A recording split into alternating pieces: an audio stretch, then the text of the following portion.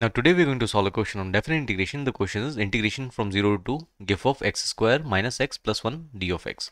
Now this is not as easy as it looks because gif is there and whenever gif is present we need to break the interval where inside material is integer. So first let's find out the function x square minus x plus 1. Let's draw the graph. Once we draw the graph I think we'll get a clear idea how to integrate. So let's say this is our function and here a is greater than 0 that means the coefficient of x square is positive. That means it's upward parabola.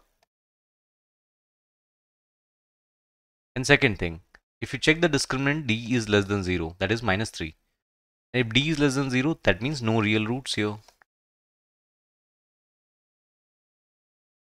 Now I think it's upward parabola and somewhere minima is coming. Because if it's upward parabola minima will be coming here some point.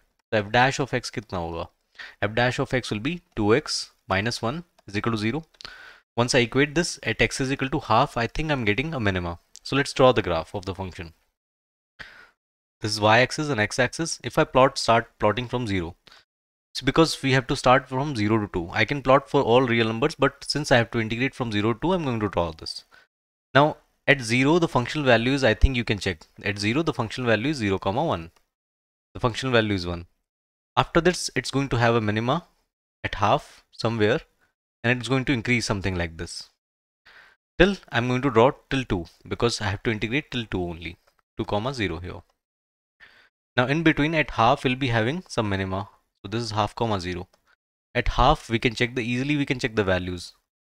At half the value will be 1 by 4 minus 1 by 2 plus 1. So I think the value is 3 by 4 here. Now once we get this, uh, I think we need to find one more point. See, we are breaking the function for which the function will give you inside material. Okay, so we need to find the values of x where x square minus x plus 1 is an integer. So at 0 it is 1. At some more point, one more point will be there where it will be integer as you can see. So let's find out where it is equal to 1 again. So x square minus x plus 1 is equal to if I equate to 1. At 0 it is 1 but at one more value of x will be there where it is equal to 1. So I think from here I can say x into x minus 1 is equal to 0. From here we got x is equal to 0 and 1 here. So I think at 1 comma 0 it's going to give me again 1. Now let's find one more value here f of 2. So at 2 I think you can check the value of the function. So at 2 the value of the function is 4 minus 2 plus 1 I think that is 3 here. Since it's going till 3 and this is 0 comma 1 I think somewhere it will be equal to 2, right? Using intermediate value theorem, I can say somewhere it will be equal to 2 and visible from the graph also. So I need to find the value of x where it is equal to 2. So let's equate x square minus x plus 1 is equal to 0 to 2 here. If I equate, I think we'll get x square minus x minus 1 is equal to 0 and from here I'll get two roots. One of the root is 1 plus root 5 divided by 2 Now one more root we'll get from here 1 minus root 5 divided by 2 that I'm going to reject because that will be on the left hand side of 0. So here one root we got here that is 1 plus root 5 divided by 2 comma 0. Now once I got the graph now I can easily integrate the function. Now we have to break the integration where inside material is integer. Now from the graph we can easily check. So let's integrate from 0 to 1 here. Why I'm integrating from 0 to 1 if you can check here. If I integrate from 0 to 1 See, when I'm moving when I'm moving x from 0 to 1, the function value is varying from 0 to 1. And inside, when GIF is moving from, as you can see on the y-axis, GIF is moving from 0 to 1. And GIF is moving from 0 to 1, that means GIF is 0 t of x here.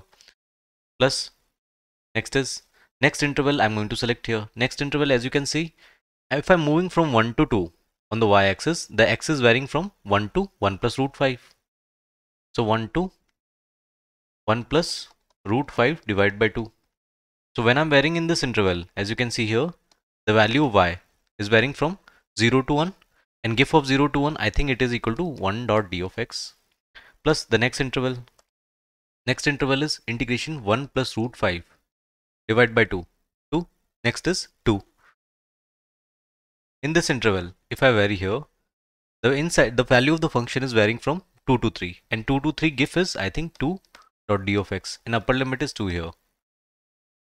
Now I think I can calculate this easily. So 1 integration of 1 means difference of limit. Difference of limit is I think root 5 minus 1 divided by 2 plus this is 2 times of difference of limit. I think difference of limit here is 3 minus root 5 divided by 2.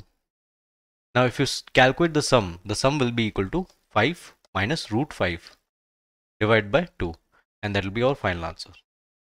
And that will be all.